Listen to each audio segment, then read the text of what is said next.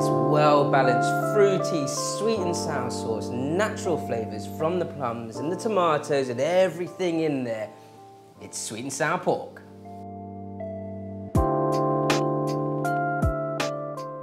It's another Wok Wednesday. Welcome back to Wok Wednesday. And this video is sponsored by our lovely friends Neff. It's a traditional sweet and sour pork with no ketchup in it, the old school restaurant way. And we're starting with essentially kind of making our own plum sauce. So I've got these beautiful red plums here. With your plums, de-seed, it's best to cut round the middle part and then just twist that round to then sort of get the rest of the seed out. And the rest of the seed can just sort of use a little teaspoon to prise out. These plums, super red. You can see the inside, absolutely beautiful. Now, depending on how ripe they are, they might be more sweet or sour than from one to another. So, you know, we're gonna blitz this up and kind of make a juice or plum juice out of these plums.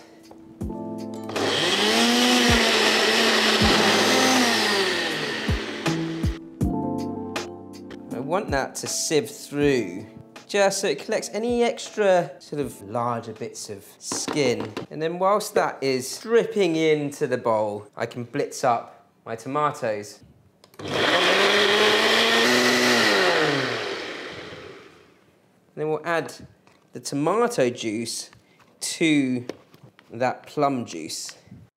Just let that drip in and then you can prepare the rest whilst that's working itself.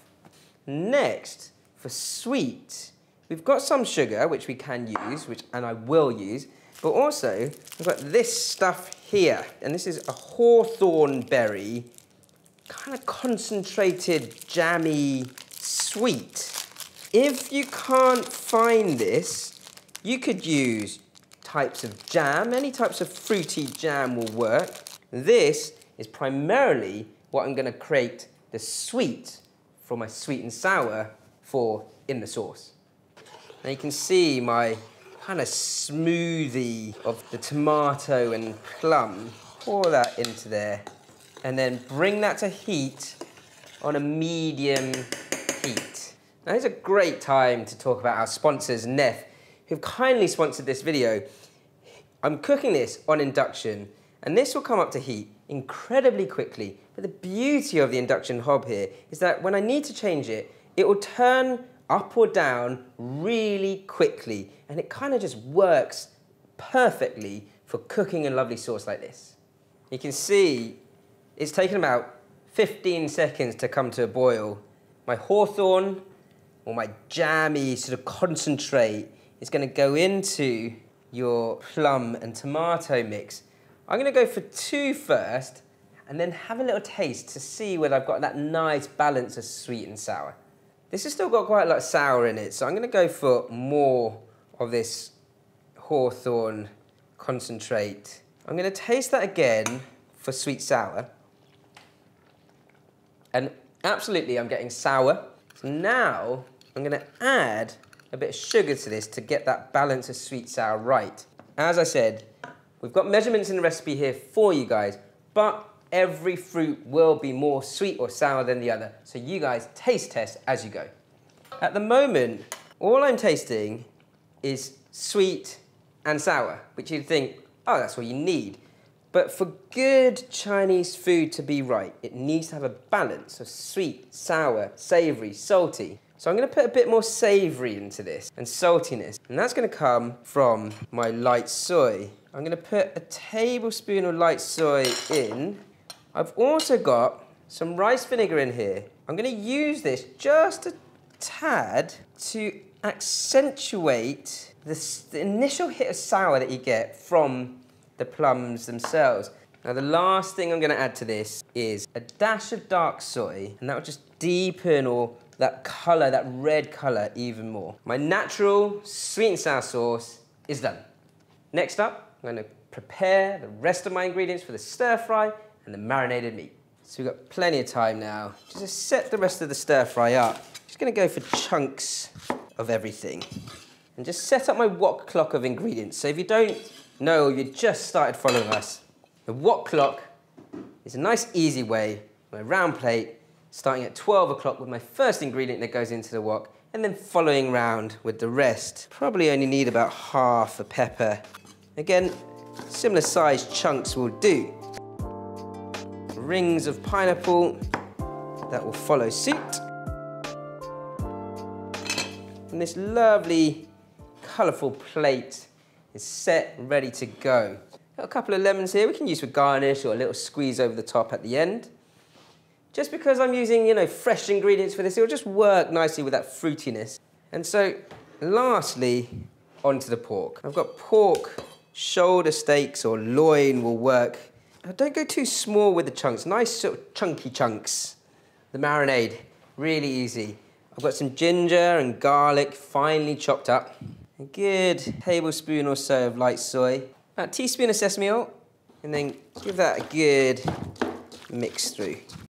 Just crack an egg into there. And then get that egg mixed around too before you batter this up.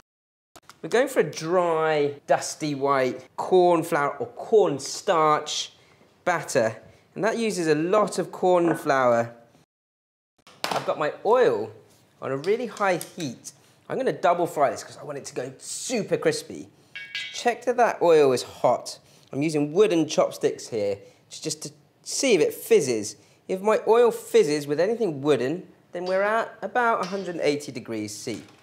Just shake off any sort of excess flour, sort of clumps, and then straight in, nice and carefully, and then just push into that meat to separate those pieces out in the oil so that when they're sizzling away, they all get that oil sort of heating up or sealing the meat and that batter immediately. And this looks super crispy already. I want to get it even crispier, which is what the double fry will do. So the pork on the first fry is at about two to three minutes of deep frying. And on second fry, only really needs about a minute and it'll come out really super crispy. Now's a great time to talk about our sponsors Neff again. With this wok hob here, the Neff wok hob is awesome, perfect for a round bottom wok like this, where it's just gonna sort of create that wok hei, that sort of wok air for me to maneuver around the wok very quickly to finish off this sweet and sour. Much like any other sweet and sour or any other sort of saucy, crispy dish, this part happens super quick. A bit of oil around the edge, not too much. It's good to use the clean oil for that. And then we're gonna get your onions in first, which is 12 o'clock on my wok clock. Quite a lot of smoke here, so just flick that through to maneuver that wok's air around the wok and they just get a nice bit of char around the pieces of onion. Peppers in, again, allow those to kind of blister a little in the wok before you move it around too much, and then give it a quick wok toss. I want to get a bit of char on my pineapple if I can, so I'm going to just add a bit of oil around the edge, and then my pineapple is going to go in. And again, almost allow it to Continue smoking. Get your extractor fans on, ready. Bring your onions over the top of the pineapple, not moving that pineapple around too much yet until it catches a little and kind of caramelizes around the edges. Each time I'm flicking it around, I'm allowing that pineapple to catch a little bit more. Now, my lovely hawthorn berry natural sweet and sour sauce is going to come in. My wok is smoking hot all the way around and I'm going to pour that sauce, probably a good couple of ladlefuls of sauce over the top. That is seriously hot, that wok. Bring that to a vigorous boil before your meat goes in. Meat in. I'm going to go double-handed here because there's a lot. Flick that through. Woo! Hot stuff. And then straight out. Restaurant style, old school way, sweet and sour pork. So the color of this is what stands out. You know, you can really see that plum color that we started with, that natural color, coloring from the And it really is different. Natural sweet and sour flavours from all that fruit in there. A different way to make sweet and sour pork. It's naturally sweet, it's naturally sour, that beautiful crisp from that double fry. Traditional or old school style sweet and sour pork, thanks to Neff, our awesome sponsors.